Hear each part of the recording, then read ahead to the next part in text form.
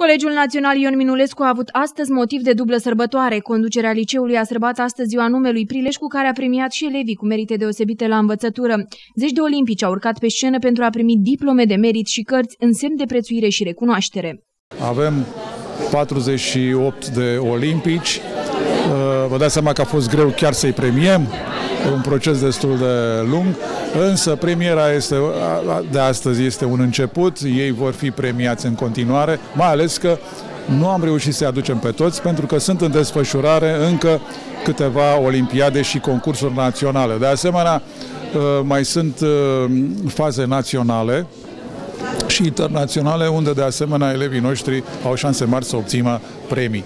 Alături de elevii meritoși, pe scenă au urcat și profesorii care au îndrumat, fie că sunt olimpici la matematică, română, limbi străine sau geografie, cu toții sunt mândri că sunt elevii Colegiului Național Ion Minulescu. Spune-ne pentru ce performanță ai fost premiat astăzi? Uh, am fost uh, premiat pentru Olimpia- uh, rezultatele obținute la Olimpiada Națională de Matematică. Ce premii ai reușit să obții? Uh, am reușit să obțin medalie de bronz. Această recunoaștere a școlii te motivează pe mai departe?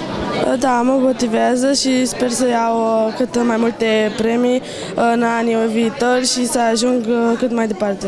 Am luat mențiune, am fost a noua pe țară, dar la proba scrisă am avut al patrulea punctaj.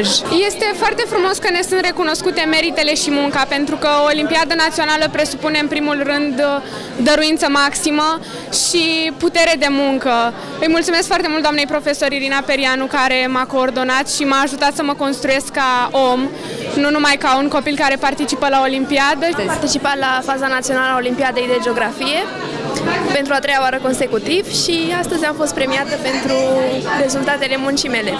Ce premiu ai reușit să obții? Uh, din păcate nu am uh, reușit să obțin un premiu, însă am avut un punctaj destul de bun, dar uh, continuăm și la anul cu o resta mai bună. Ce reprezintă pentru tine recunoașterea conducerii școlii?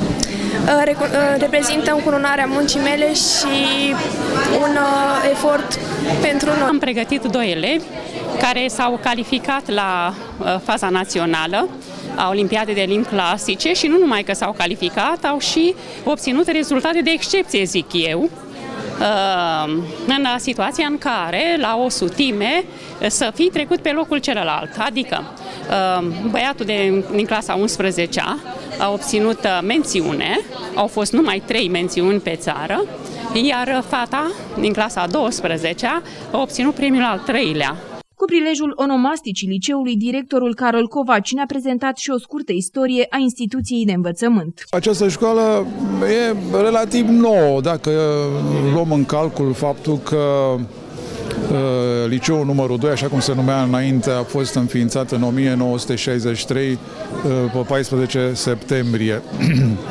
Asta este ziua de naștere.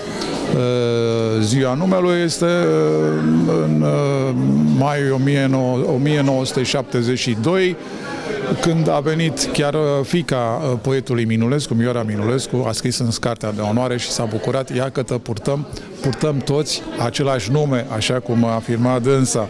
La finalul evenimentului, elevii și cadrele didactice s-au bucurat împreună de un spectacol al Teatrului de Operă din Craiova.